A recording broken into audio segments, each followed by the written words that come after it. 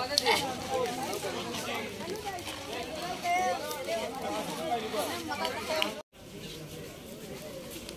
あ、もうじゃあ、そいつに、そいで、そいで、そいで。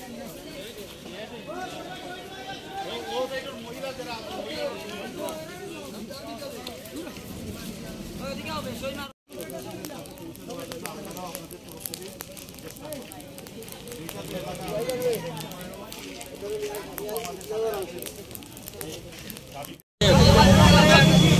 পাঁচ নং এবং ছয় নং ওয়ার্ড।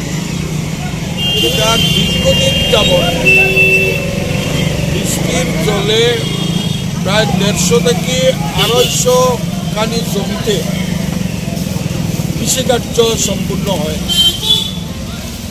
যার কারণে বিভিন্ন সময় এলাকাবাসী পঞ্চায়েতের সেক্রেটারির মাধ্যমে জেলা শাসক এবং বিডিও সাহেবের কাছে লিখিতভাবে দরখাস্ত প্রদান করছে যে এখানে পাক্কা ড্রেন করিয়া জল নিষ্কাশনের ব্যবস্থা করা হোক এবং বর্তমান যে বৃষ্টি হয়েছে, এই বৃষ্টির কারণে প্রচুর বাড়ি করে বাড়ি করে জল উঠে গেছে। শুধু এটা বৃষ্টির জল, এটা ফ্লাডের জল না, কিন্তু জল নিষ্কাশনের কোনো ব্যবস্থা করা হয় না।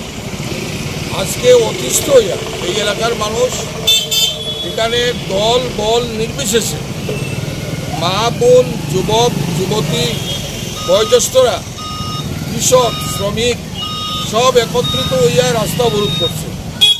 এই রাস্তা অবরোধের পরে পরিপ্রেক্ষিতে বিডিও সাহেবের তরফ থেকে এক্সটেনশন অফিসার এখানে আইছেন এবং এখানে তিনি লিখিত দিচ্ছেন যে ঊর্ধ্বতন কর্তৃপক্ষের সঙ্গে কথা বলে পনেরো দিনের ভিতরে এই ড্রেন করার ব্যবস্থা তাই করে দিবেন। এর এই আশ্বস্তের পরিপ্রেক্ষিতে এলাকাবাসী রাস্তা অবরোধ প্রত্যাহার করছে। আপনার সেক্রেটারি বাবু আছেন তাইনে দেখাও গা কোন জায়গাতে আপনার যে খাসানাল